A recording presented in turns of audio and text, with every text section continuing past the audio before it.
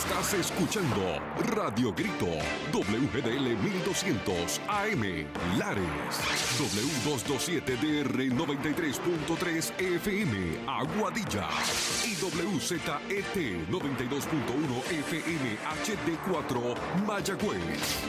Radio Grito, el medio que te lleva. Esta emisora, sus dueños y comerciantes no necesariamente se solidarizan con las expresiones vertidas en el programa a continuación. Y ahora da comienzo Na Dios que te escucha por Radio Grito 1200 AM, el medio que te lleva. 93.3 FM, 92.1 FM HD4 y Facebook Live. Na Dios que te escucha comienza ya.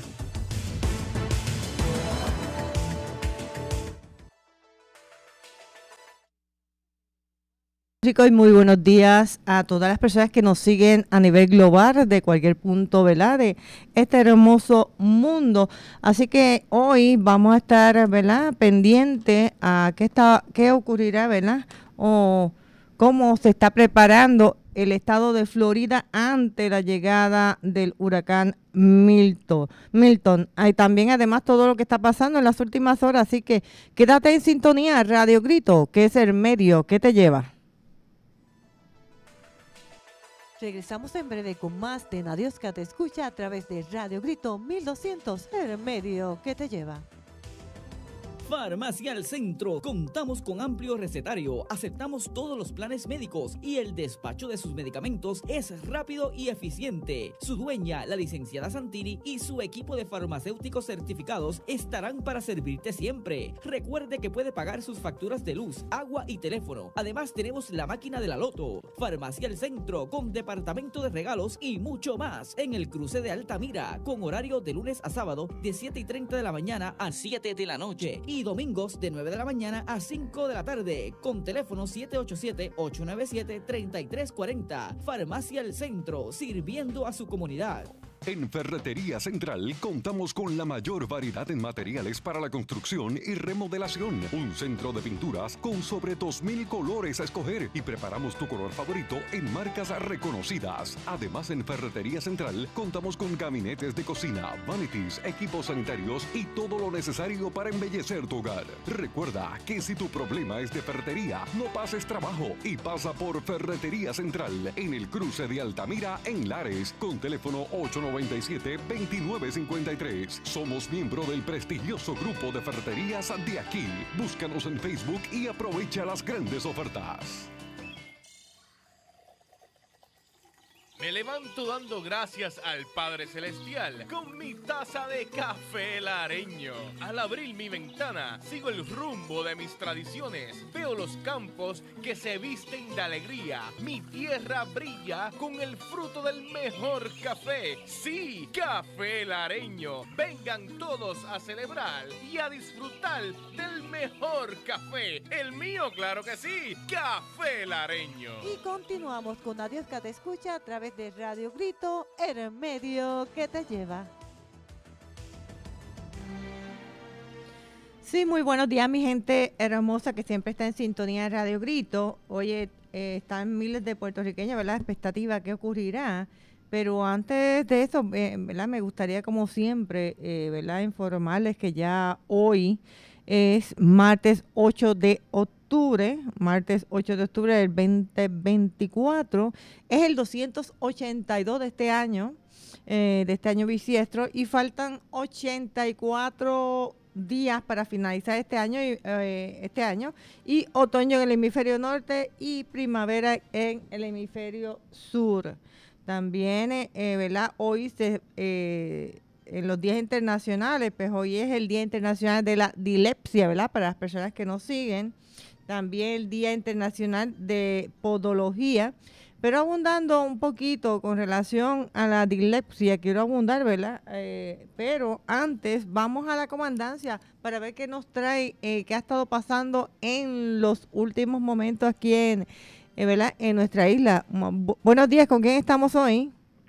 buenos días con la gente Mayra Ortiz. Buenos días, Mayra. Este, ¿Qué nos tiene para el día de hoy? Bueno, el Policía Municipal de Manatí Elmes Pérez Rodríguez llevó a cabo una investigación en unión al fiscal Ramón Allende Sánchez, quien radicó dos cargos por violación a la ley de armas en la tarde de ayer contra Raymond Maldonado Colón, de 39 años, residente del pueblo de Manatí. Estos hechos fueron el 6 de octubre, en horas de la madrugada. La Policía Municipal de Manatí fue alertada sobre un vehículo en, detenido en el medio de la carretera número 2, el kilómetro 45.1 del barrio Canteras del mencionado municipio. Al intervenir con el conductor Maldonado Colón, se le ocupó un arma de fuego y él mismo no poseía licencia de arma se presentó el caso ante el juez Rafael Lugo Morales del Tribunal de Primera Instancia de Recibo, quien luego de escuchar la prueba determinó causa y le señaló una fianza de 20 mil, la cual prestó hasta la vista preliminar. Hasta el momento esa es la novedad que tengo en el área de. Que pasen buen día. Muy buen día y muchísimas gracias por toda esa información. Oye, eh, ¿verdad? Antes de irnos a lo que está ocurriendo con Milton y también todas las, preparaciones que están ocurriendo allá en Florida, como dije, hoy es eh, en las celebraciones Día Internacional de la eh, Dislexia, también Día Internacional del, de lo que es la podología. Eh, y abundando un poquito antes de irnos a ¿verdad? con lo que está ocurriendo allá en Florida, recuerden que si estás en Florida y nos quiere escribir algún mensaje o algún mensaje para su familia, puede hacerlo a través de Facebook Live. Con mucho gusto vamos a pasar ese mensaje, ¿ok? Oye, y Día Internacional de la, de la Dilepsia, como que es uno de los trastornos de aprendizaje más comunes que afecta a los niños en edad escolar es la lo que es la dilepsia, ¿verdad? Y es por ello que el 8 de octubre se celebra el Día Internacional de la Dilepsia para concienciar a las personas acerca de este trastorno que afecta al 10% de la población mundial, según la Organización Mundial de la Salud. La fecha no ha sido reconocida oficialmente por la Asociación Europea de Dilepsia, eh, propuesta por varias asociaciones de familias con dilepsia. ¿Ok? ¿Y qué es dilepsia? Rapidito, para antes de irnos ¿verdad? a las informaciones para hoy. Dilepsia es un trastorno específico de aprendizaje de origen neurobiológico y hereditario que afecta a diversas áreas de funcionamiento, tales como el desempeño lector y de lectura, eh, lo que es incidiendo en el rendimiento académico de los niños y adolescentes en edad escolar, así como el desempeño laboral en adultos. Eh, ¿verdad? Así que más adelante vamos a abundar ¿verdad? un poquito más con relación a, esta, ¿verdad? A, esta condición. Así que vamos ¿verdad? a lo que la gente está esperando en estos momentos, que es con relación a lo último que ha estado pasando, ¿verdad? Con eh, ¿verdad? Eh, lo que es eh, Florida. Y Florida es en, eh, o, Boricua en Florida, Boricuas en Florida ante el paso de Milton. Y expresiones por primera vez he sentido miedo. Y también eh, huir de Milton de Tampa Orlando con el recuerdo del huracán a flor de piel. Estos, ¿verdad? Son de lo que vamos a estar hablando, pero abundando con boricuas en Florida ante el paso de Milton. Eh, vamos a ¿verdad? abundar un poquito más porque se estima que en Florida viven 1.2 millones de puertorriqueños. y frustración, desasiego e incertidumbre con estas palabras varios boricuas que residen en Florida describen el ambiente que se percibe en las calles del estado ante la inminente llegada del poderoso huracán Milton que hasta ayer en la tarde se mantenía categoría 5 y con vientos sostenidos de 180 millas por hora. Se estima que en este que en ese estado viven unas como mencioné anteriormente, una 1.2 millones de puertorriqueños, lo cual deja a muchos de sus familiares y allegados en la isla en un escenario de preocupación. También el lunes los residentes de varios condados de Florida estaban bajo una orden de desalojo obligatorio como precaución ante el impacto del huracán. Los pronósticos apuntaban que el fenómeno impactaría eh, lo que es esta noche y mañana miércoles la costa oeste de Florida desde lo que es Bonita Beach hasta la boca del río en lo que es su ni, incluyendo Tampa Bay. Así que vamos a estar pendientes, ¿verdad? A todo esto. Hay mucha más gasol eh, lo que es información. estuve en comunicación con varios residentes, ¿verdad? De, allá mm, me estaban eh, describiendo y ellos me hablaban de lo, la situación parecida a la que enfrentamos aquí en Puerto Rico eh, con relación a que se había acabado en ciertos lugares, eh, ¿verdad? Lo que era el agua potable, que iban a varios lugares también, eh, ya no había gasolina de una de un tipo, tenían que echar de la otra, este, así sucesivamente. Este, este era el escenario que se estaba enfrentando, o que muchos estaban ayer todavía, ¿verdad? Eh, que estaban en preparativo eh, enfrentando. Y otra de las preocupaciones que muchos me, comentaron fue con relación al alza en los precios de los boletos, de verdad, en las aerolíneas, que eso yo imagino que nuestros compañeros van a estar abundando, porque sí, eran unos precios, wow, que uno dice, pero esto, ¿verdad? Esto no puede ser, unos precios de verdad exageradamente altos. Y se estaba haciendo llamado a estas agencias, ¿verdad? A que haya consideración ante eh, eh, puertorriqueños que no tienen familiares en otros estados, que no pueden eh, ir a otras partes a, ¿verdad? A, a, pasar lo que es este, este huracán, ¿verdad? Así que vamos a estar pendientes a todas estas informaciones. Así que mi gente, eh, entra a compartir conmigo a través de las redes sociales con relación a todo esto. Si eres de Florida y ya estás preparado, qué eh, decisión eh, tomaste, mira, me gustaría saberla. Escribir en las redes sociales y con mucho gusto vamos a leer todos esos mensajes. También tenemos en informaciones para el día de hoy con relación al mismo tema, antes de ir a otros temas, eh, huir de Milton, de Tampa a Florida, con el recuerdo del huracán María Flor de Piedra. Eh, ahí abundamos que miles de personas eh, comenzaron el éxodo desde Tampa y sus alrededores en busca de un lugar seguro, ¿verdad? en el que en el que resguardarse ante la llegada del huracán Milton. Esto es Tampa, Florida, cuando Conrad Allen supo de la primera orden de evacuación en Clearwater, no dudó, tenía que dejar su casa frente a la playa atrás. Así hubieron muchos, ¿verdad? Eh, así que vamos a estar pendientes a esto, porque así mismo están, se hacen, ¿verdad? Eh, eh, se hacen historias de recuerdo de personas que han estado, que han pasado estas situaciones. Así que esperamos que nuestros, ¿verdad? Nuestros puertorriqueños y todos los ciudadanos de Florida, bueno, pero a esta hora ya estén ya preparados, ¿verdad? Que hayan tomado la mejor decisión, recordando que ante todo material, mira, lo más importante es su vida y la vida de los suyos. También continuamos con otros temas que se van a estar hablando el día de hoy, que respiro al plan de ajuste de la Autoridad de Energía Eléctrica y la jueza federal Laura Taylor Swain le dio ayer un respiro adicional al plan de ajuste de la deuda de la Autoridad de Energía Eléctrica eh, propuesto por la Junta de Control Fiscal al acceder a extender el periodo de vigencia de la paralización del caso de la bancarrota, eh, bancarrota discúlpeme, de la corporación pública, la prolongación del proceso de negociación ante las partes hasta el 13 de noviembre respondió a una solicitud por parte del equipo de mediación que fue presentada a menos de 24 horas de que hoy expirara la orden de stay.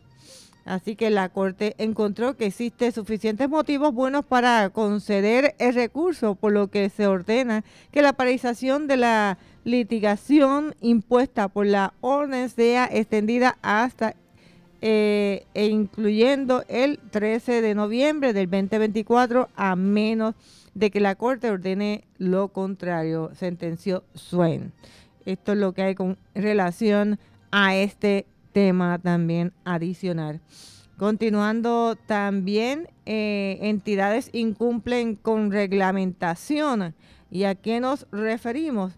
¿Verdad? Eh, así lo, reveló la auditoría de la Oficina del Contralor eh, la auditoría de la Oficina del Contralor de Puerto Rico realizada a 267 entidades reveló que el, el 50% de las entidades públicas no, no enviaron en una o más ocasiones a estas dependencias la certificación anual para notificar las pérdidas e irregularidades en el manejo de fondos o bienes públicos.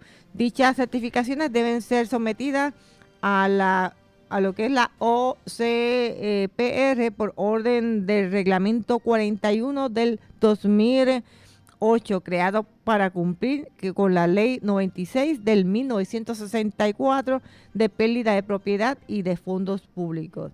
Así mucha más información con relación a esto más adelante. Continuamos también aquí a través de Radio Gritos, son las 6 y 47 de la mañana para ti que estás ahí de camino hacia tu trabajo y continúa ¿verdad? la incertidumbre con relación a Milton y las, las planas de hoy de ¿verdad? de, de o las portadas ¿verdad? de nuestro de, eh, de, las ediciones de ¿verdad? de las prensas de hoy lo que encabeza es con relación a esto ¿verdad? y una de ellas es que Boricua de, boricuas describen como bien complicado el panorama Paul Milton. Ayer no salían de su asombro por los altos costos en los boletos aéreos para llegar a Florida, de, de Florida a la isla. Y ahí quiero abundar con eso, eh, porque de este tema estaba hablando, de llamadas que recibí de personas que me me comentaban con relación a este mismo tema, y la devastadora fuerza que encierra el poderoso huracán Milton, que se acerca peligrosamente al estado de Florida, mantiene alerta y en preparativos a los residentes, muchos de ellos boricuas, que han buscado opciones para trasladarse a la isla o incluso hospedaje en hoteles que garanticen su seguridad allá y en la mañana y temprano en la tarde de ayer el flujo de pasajeros en el aeropuerto internacional Luis Muñoz Marín no denotaba el estado de emergencia que sufría el territorio de Florida, hogar de 1.2 millones de boricuas, lo que representa el 5,4% de la población de Florida. En algunos pasajeros que arribaron ya cerca o pasado el mediodía comentaron que al partir desde sus respectivos puntos de salida, los aeropuertos estaban llenos y que los precios por los pocos espacios en vuelos que podían quedar todavía se habían disparado a niveles muy por encima de lo que podría costar un pasaje en condiciones normales. ¿verdad? Y esto fue una queja ¿verdad? bastante eh, pronunciada por muchas muchas personas. Así que, eh, bueno, yo, yo, escucho de unos precios que yo dicen, no, esto no puede ser, ¿no? Pero sí. Y llamamos a, volvemos a hacer llamado a la conciencia, a la consideración de personas, ¿verdad? Y le hacemos el llamado directamente a las agencias de pasaje con relación a cuando estamos enfrentando uno de estos fenómenos, ¿verdad? Póngase usted en el lugar de cualquiera de estas personas que no tengan para dónde ir eh, y no tengan quizás, ¿verdad?, el capital para poder eh, derrotar, eh, o, ¿verdad?, este, o, pagarlo así al momento. Así que esta, ¿verdad?, es el mensaje de, que hacemos de conciencia a todas estas empresas. ¿verdad? Que tengan en consideración es, un estado de emergencia. Oye, o es un momento de emergencia, disculpe. Oye, continuamos en informaciones para el día de hoy también. Fallas en operaciones de Luma contribuyeron a los apagones en junio, eh, ¿verdad? Y abundando un poquito con relación a esto, que investigaciones o investigación de empresa controlada por la AAPB también hace señalamientos a Genera PR. Y fallas en la ejecución de Luma Energy contribuyeron a los apagones registrados en Puerto Rico que dejaron sin servicio eléctrico a cientos de miles de clientes el pasado mes de junio. Así se desprende de la investigación realizada por FTI Consultant N, una compañía externa contratada por la Autoridad de las Alianzas Público-Privadas. Así, eh, de esto se va a estar también hablando para el día de hoy, para ustedes que están ahí, como siempre, en sintonía a Radio Grito.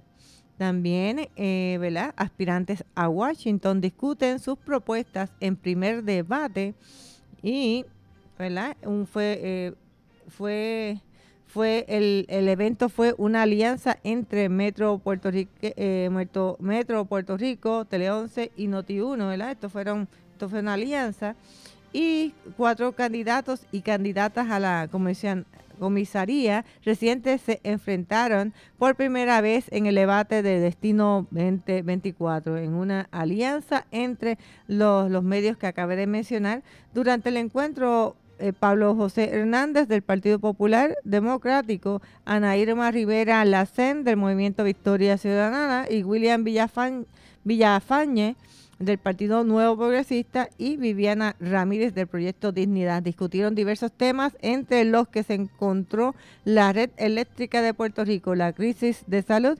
economía y el estatus. También este, este último es uno de los temas que más genera discusión entre los puertorriqueños en general. Así que mira, eh, más adelante vamos a estar ¿verdad? ofreciendo más información con relación a este tema, que sé que muchos que están pendientes, ¿verdad? A todos estos debates que están ocurriendo ahora con propósito de que ya mismo se acerca esa, esa decisión, de esa decisión tuya eh, única, ¿verdad? De poder decidir por el líder que o líder o los líderes que usted prefiere que estén ahí manejando, ¿verdad? O administrando, eh, ¿verdad? Lo que es a nuestra isla. Así que vamos a estar pendiente a esto. Oye, y continuamos a nivel internacional y lo que se continúa hoy hablando es que el, huracán se debilitó a categoría 4 y se descarta que su centro impacte con la costa de Yucatán. La trayectoria de huracán, ya hay varios eh, sitios en las redes que ya se están mostrando en vivo para que lo puedes, si tienes eh, el sistema de, de red y quieres entrar, puedes verlo Así también los suministros de emergencia que debes comprar si hay un huracán, que usted ya usted deben de saberlo hasta ahora, ¿verdad? Eh, se, está hablando de eso.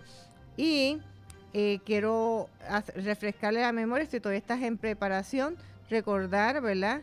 Eh, que, que tener a la mano que sea acerca de la tormenta, ¿verdad? El kit de primeros auxilios es bien importante, que de eso vamos a estar hablando mañana, que, ¿verdad? Porque es importante extintor de fuego, linternas, batería extra, bolsas para dormir y sábanas, utensilios de cocina, suministro para varios días de tus medicinas de prescripción. Eh, espero que nadie de, ustedes que nos están siguiendo desde Florida se haya olvidado. Platos, vasos, servilletas de papel, comida enlatada o no perecedera.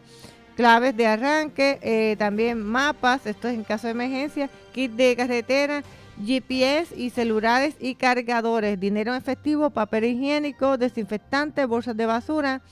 En verdad, este, estos son algunos porque mañana vamos a estar hablando de estos temas y otros más con relación, ¿verdad? A, a todos estos que a todos estos desempeños de lo que tenemos que hacer en estos momentos de emergencia en y antes. Así que Dios me los bendiga y ustedes que están allá en Florida, ¿verdad? Con karma, eh, busquen, eh, todavía no es tarde si se, se, siente inseguro y busque ayuda si no tiene, ¿ok? Que Dios me los bendiga y será hasta luego. Bye bye.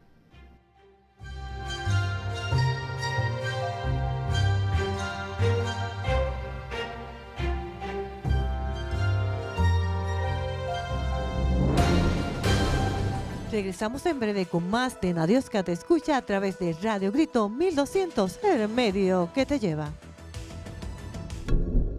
Llegó la temporada de huracanes, así que prepárate con las mejores ofertas de la mueblería hogar Hardpoint. Neveras, estufas, muebles y mucho más. Visítalos en la calle San José en Lares o llama ahora al 787-897-2245. Aprovecha sus ofertas y asegura tu casa con la mueblería hogar Hardpoint.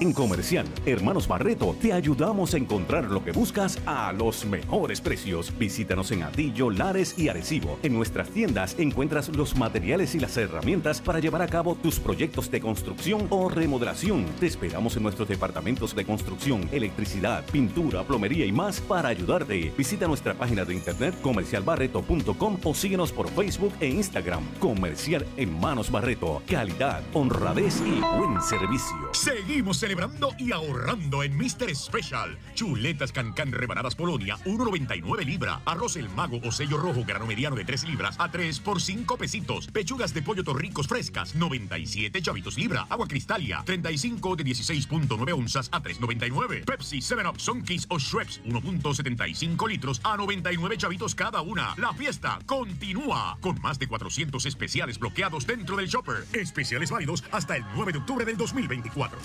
Laboratorio Clínico San Martín. Por décadas, el laboratorio de todas las familias lareñas. Hoy seguimos la tradición familiar. Cada día nuestra gran familia se extiende más para darte las mejores atenciones y con profesionalismo. No limitamos esfuerzos para tener los mejores y más modernos equipos para el resultado de tu análisis rápido y con la mayor exactitud y precisión. Por décadas, visitamos los hogares de aquellos pacientes que así lo meriten, además de hogares de envejecientes y empresas. Aceptamos todos los planes médicos, incluyendo la reforma Medicare y Advantage. Laboratorio Clínico San Martín, en la calle Pedro Albizu Campos, abierto de lunes a sábado desde las 6 y 30 de la mañana. Teléfono 787-897-2479. Laboratorio Clínico San Martín, atendiéndote con el mismo amor de siempre.